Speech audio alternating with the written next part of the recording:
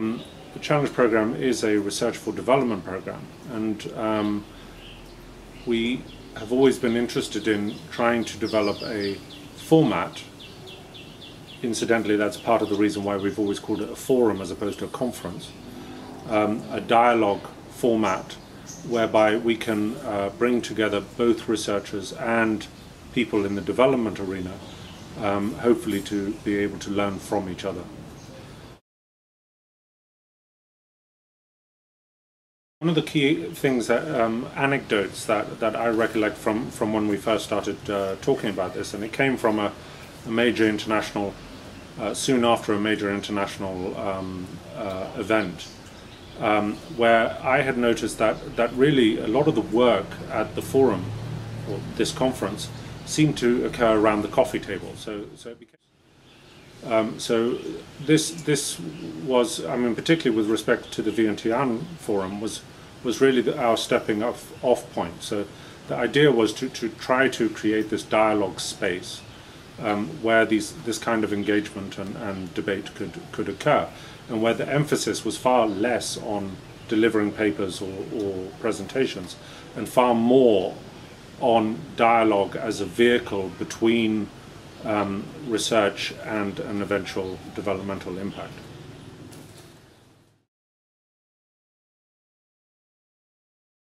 And I think that that was um, a, a, very key aha moment was was watching researchers argue um, with enormous passion about what it was that they want, were doing and the results that they were obtaining, um, and then watching development professionals responding to that. Um, science is also intended to be a passionateless uh, enterprise, and and I don't know that development is especially good at receiving something without passion. In my experience, development professionals want to hear new ideas, good ideas, passionate ideas, um, which science can then respond to. And it doesn't. They're not really all that interested in in the hardcore scientific stuff that's going on down at, at ground level. And fine, we can go off and do that stuff. But for them, they want to see that there is a legitimate story behind the science and that it's going to impact the people that they're concerned about. Key things here is, is also about, you know, another um, very common critique within science is, that, is, is complaints about the lack of substance and concerns about, you know, you know what, the kinds of nuggets of knowledge that occur within science have to do with robust methodologies or um, robust conclusions, whereas whereas the development world um, is is much more persuaded by process and engagement and and a lot of the kinds of touchy feely things that that uh, that scientists are very uncomfortable with. Well, this this forum will be very interesting because you, you have to remember that, that with both the first forums, that was that was all CPWF phase one, and in, in this third forum we have we have it's a very different context. We only have six basins on this occasion. We have this uh, multiplicity of, of uh, basin development challenges and and so on, and yet we're also introducing fairly innovative and new concepts, um, uh, like for example the share fair um, and indeed um, uh, forcing uh, basin leaders to work together in individual forums. Um, um you know, with the Mekong session, I, I'm I'm not entirely sure in what way us and the Andes are going to uh, tease out uh, um, uh, uh, messages that that are mutually applicable. Um, we'll just have to see about that, but. But again, uh, that's, that speaks very much of, of a, a, silo. I, am in my Mekong silo. Perhaps uh, Miguel Saravia is in his Andes silo, and we just have to see if, if these things can come together.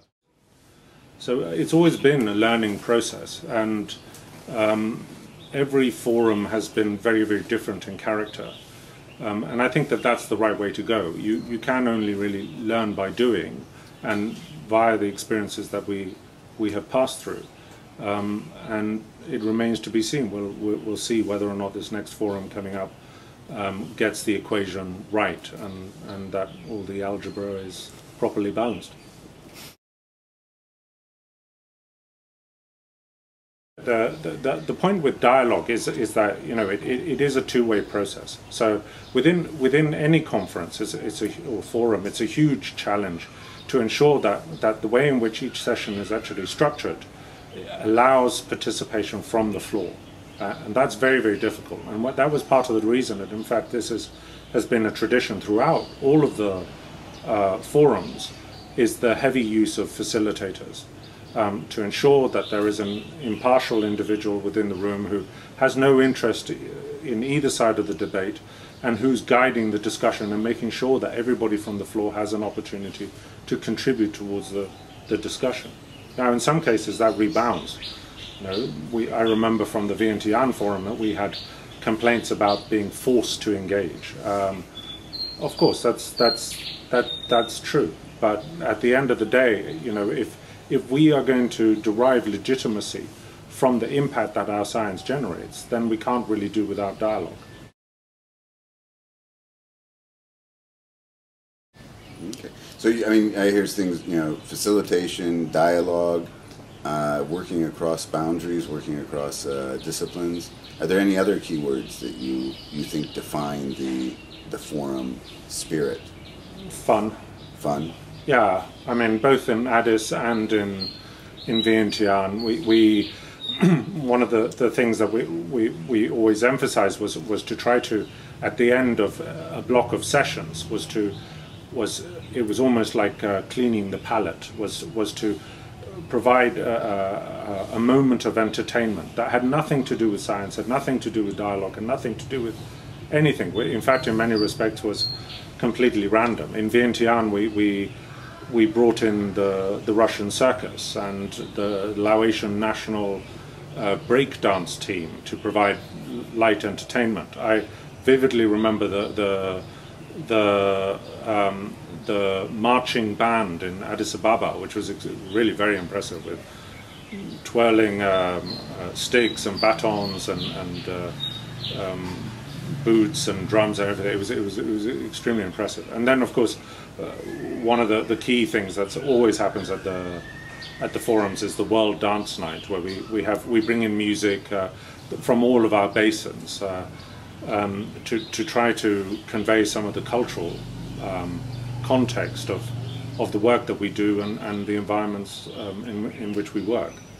So, you know, I think that all of these things hang together very, very well. And uh, in many respects, that the, the, the, experiment that we embarked on with, with these forums was was true to this idea of trying to recreate um, the the cafeteria uh, environment uh, within which so many great innovations, uh, certainly in the 20th century, emerged.